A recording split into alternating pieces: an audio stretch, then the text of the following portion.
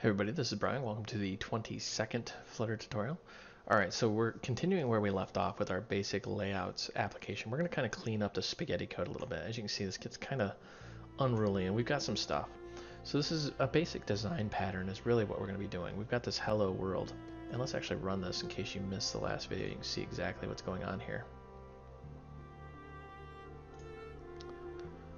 we got that hello world repeated. Um, we've got rows and columns, and it's just really simple, just stupid layout, right? Um, so you can see in our application we have some repetition. Hello world, hello world, hello world. So that's all repeated. So what we're going to do is we're going to take that hello world, each one of these, and convert it into its own full-blown widget here. Um, that way we can get rid of some of the spaghetti code.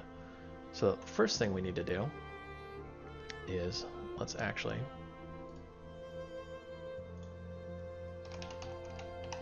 make a new Dart file.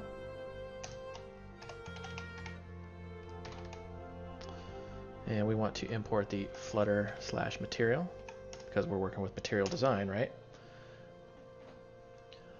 Now, really, it's not that bad um, making a whole new component. I thought this was going to be like a huge, long, drawn-out tutorial. It's really not.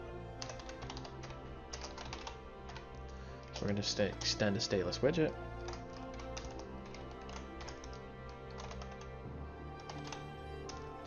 Could spell widget.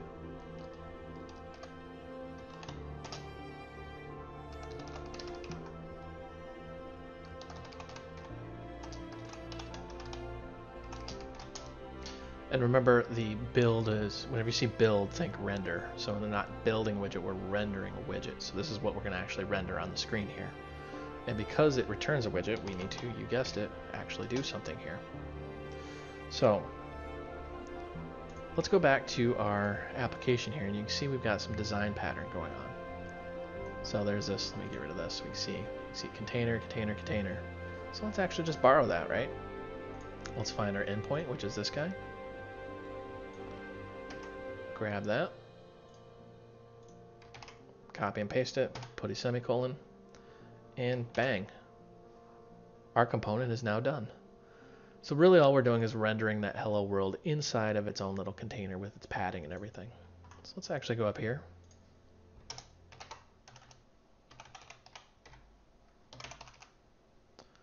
We're going to import the hello.dart. And now that we have that import, you guessed it, what we can do is just get rid of this.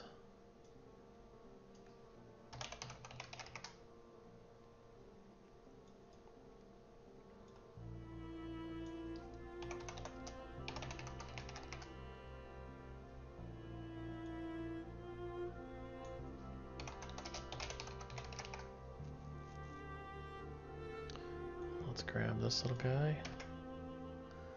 And we're going to get rid of these three right here. Just put our hello widget. So I'm going to actually kill this app. That way it'll rebuild the whole thing so you know there's no trickery on my part going on here. So let's save that, rebuild it, run it out, push it to the emulator,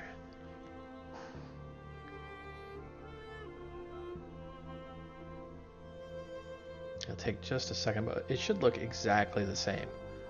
The real difference here is that we have pushed that snippet of code into its own little widget. Um, that way we're not retyping that over and over again and we can just reuse that. We can even extend it if we wanted to.